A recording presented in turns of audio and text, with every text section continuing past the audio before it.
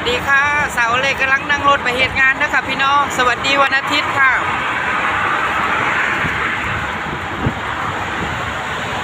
วันนี้ไม่ได้หยุดเด้อค่ะพี่น้อง สาวเล็กเหตุงานเด้อค่ะ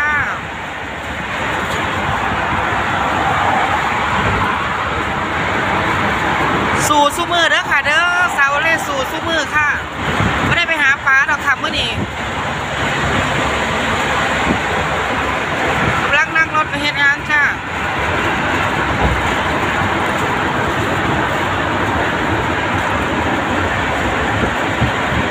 ในเมีแต่ตึกสูงๆล่ะพี่น้องเอ้ยย้ำใดที่สำเร็จดอก เป็นกำลังใจให้สาวเลยนะเด้อพี่น้องเด้อ